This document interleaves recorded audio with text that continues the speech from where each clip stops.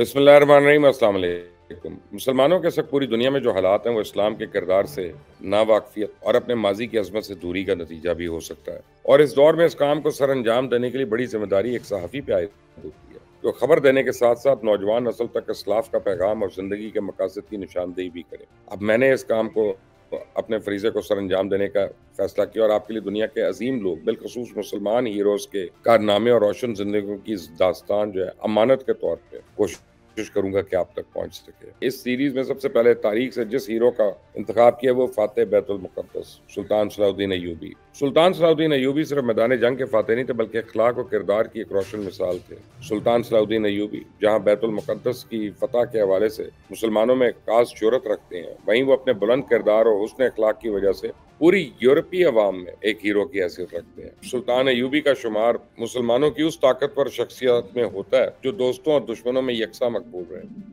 और दोनों ने सुल्तान सलाउद्दीन अयूबी की इज़्ज़त अफजाई की। बॉलीवुड की तरफ़ से अयूबी की ज़िंदगी पर फ़िल्म बनने वाली किंगडम ऑफ़ हेवन जिसने पूरी दुनिया में पजीराई हासिल की, लेकिन इस फ़िल्म में सुल्तान सलाउद्दीन अयूबी की ज़्यादातर जंगी मोहम्मद को दिखाया गया।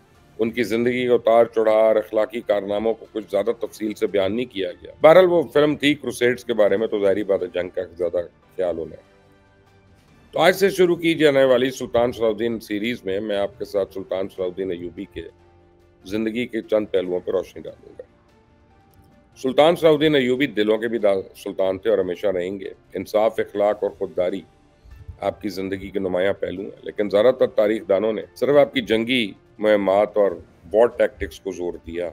बहरहाल, यूबी की ज़िंदगी के बेशुमार पहलू हैं, लेकिन हालात और वाकत को मद्देनजर रखते हुए आपसे सबसे पहले यरूशलेम, यानी कि बैतुल मुकद्दस की फतह से ये सीरीज़ है। इससे पहले के बात को मैं आगे बढ़ाऊँ, आपने अगर अभी तक इस चैनल को सब्सक्राइब नहीं किया तो प्लीज़ कर लीजिएगा ताकि हर आने वाली वीडियो बर वक्त आपको मिले। ये दो अक्टूबर ग्यारह की तारीख और जुमे का दिन था, जब दुनिया के मजहबी दारकूमत और सबसे मुतनाज़ समझाने वाले शहर यरूशलेम में तकरीबन नौ दहाइयों के वक्फे के बाद सुल्तान सलाउद्दीन अयूबी की क्यादत में एक बार फिर मुसलमानों की हुक्मरानी का दौर शुरू हो चुका था। शहर की फसीलों पर अयूबी परचम लहराया गया था, और मजहबी मकाम से मसीहत की अलामत हटाने का काम शुरू हो गया था।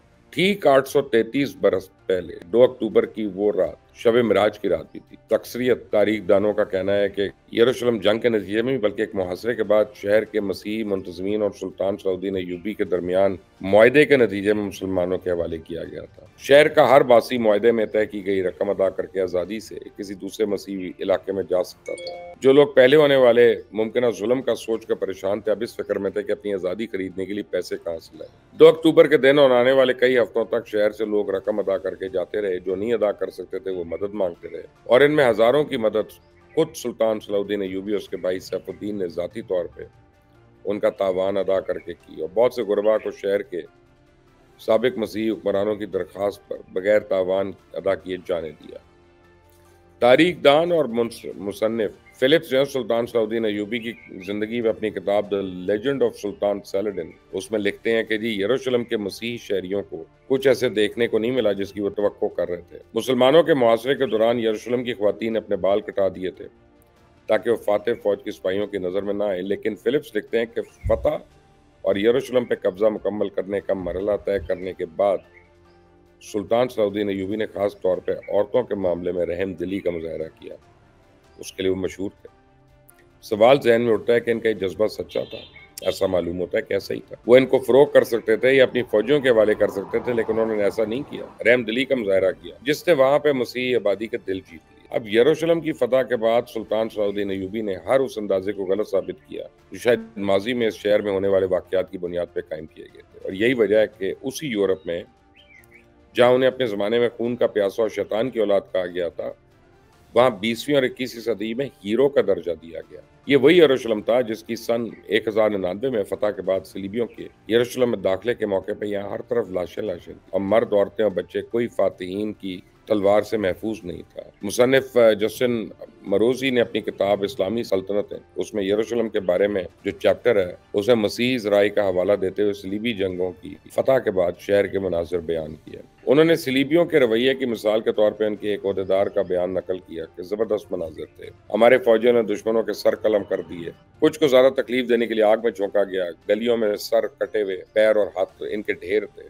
अब सुल्तान सलाउद्दीन यूबी का चैलेंज यरूशलेम की फतह पे खत्म नहीं हुआ, बल्कि उनको अंदाज़ा था कि अब मसीह दुनिया जिस पर यरूशलेम जैसे मुकदस शहर के हाथ से निकलने की खबर बिजली बनकर गिरी होगी, इसको वापस हासिल करने की कोशिश करेगी। तो सन ग्यारह सौ में यरूशलेम की फतह से तीसरी सलीबी जंग में इसका कामयाब दिफा का बाप तकरीबन पाँच बरसों पे मुहित है। वो सलीबी जंग जिसके अंदर मगरबी यूरोप के बड़े बड़े बादशाह खुद शरीक हुए यूरोप भर से लोगों को जंग में शिरकत में माइल करने के लिए सुल्तान की बदतरीन शबी पेश की गई। लेकिन जंग के लिए आने वाले न सिर्फ़ यरूशलेम हासिल करने में नाकाम रहे, बल्कि सुल्तान की एक मुख्तलिफ़ तस्वीर लेकर वापस गए, जो तमाम तर प्रोपेगेंडा के बावजूद आज तक कायम है। मिसाल के तौर पर सन 2020 के अक्टूबर में ही नॉर्वे में सेलाडीन डे यानी योम सलाउद्दीन मनाए, और इस अदारे की रुकन का कहना है कि इस दिन को मनाने का ख्याल पहली बार सन 2008 में उस तकरीब के दौरान नॉर्वे के एक मुसनफ थॉर स्टीन ने तजवीज़ पेश की।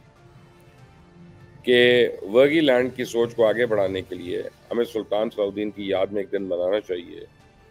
क्योंकि उन्होंने यरूशलेम की फतह पे जिस किरदार का मुजाहरा किया था, वो यहूदी, मसीही और मुसलमानों के मिलकर रहने के बारे में एक सबक है। एशलेड लान, उन्होंने बताया कि नॉर्वे की तरह शायद यूरोप में बहुत कम लोग सुल्तान सलाउद्दीन अयूबी के बारे में जानते हैं। जो जानते हैं, उनकी नज़र में वो इनका मुवजना सलीबी जंगों के यूरोप में hero Richard the line heart से करते हैं। और उनके ख्याल में सलाउद्दीन एक विलन है। जबकि उन्होंने कहा कि सलाउद्दीन डे के ज़रिए हम पैगाम देना चाहते हैं कि हर कहानी के दो रूप इस शख्स को जिसने 800 साल पहले मगरब को शिकस्त देकर यरूशलेम को फतह किया था, एक मिसाली किरदार के तौर पर याद किया गया। बरतानिया के रॉयल न्यूज़ ने पहली आलमी जंग के दौरान एक जंगी जहाज़ को एच एम एस सैलडिन का नाम दिया। और फिर सन उन्नीस सौ उनसठ और उन्नीस सौ चौरानवे के दरमियान बरतानवी फौज ने सेलेडिन के नाम से एक बख्तरपन गाड़ी भी तैयार की। ये वही बरतानिया है, जहाँ से इंग्लैंड के बादशाह रिचर्ड लाइन ने तीसरी सलीबी जंग में मसीही फौज की क्यादत की थी। फिलिप्स लिखते हैं कि मैं कहूँगा, तारीख में कोई और ऐसी मिसाल तलाश करना नामुमकिन है, जिसमें एक शख्स ने किसी कौम मज़हब के मानने वालों को इतनी चोट पहुंचाई हो और फिर भी वो इनमें मकबूल हो गया हो। तो अगली वीडियो में आपको सुल्तान सलाउद्दीन अयूबी के खानदान उनके मजहबी ज़िंदगी, महमात, जिहादी सोच और सलीबी जंगों की तफसील बयान करने की कोशिश करूँगा। और साथ ही उन असबाब को भी तफसील से बताऊँगा कि जिनकी वजह से मशक वस्ता के मुसलमान सुल्तान सलाउद्दीन अयूबी को अपना निजात दहंदा समझना शुरू हो गए थे। इस वीडियो को लाइक करिएगा, शेयर करिएगा। बाबर आज़म की कप्तानी लेने की वजूहत, ग्राउंड के अंदर की बातें और कुछ ग्राउंड से बाहर की बातें। क्रिकेट ये थी कि वो हमत अमली के लिहाज से अच्छे कप्तान नहीं थे। उनकी अपनी बैटिंग चल नहीं रही थी और वो बड़े बड़े मैचेस में नाकाम हो जाते थे। क्रिकेट के अलावा जो वजूहत में जका अशरफ टीम के साथ साया कॉरपोरेशन के तला रहमानी का एक डेड लॉक जहाँ वो इंजमाम के साथ खिलाड़ियों के लिए फेवर्स भी मांग रहे थे, जो कि खुद तला का पार्टनर था। तो मोहसन नकवी को अब इसके लिए भी तैयार रहना चाहिए, क्योंकि एक बार फिर साया कॉरपोरेशन की तरफ़ से खिलाड़ियों को लेके अदायगी में इजाफा मांगा जा सकता है।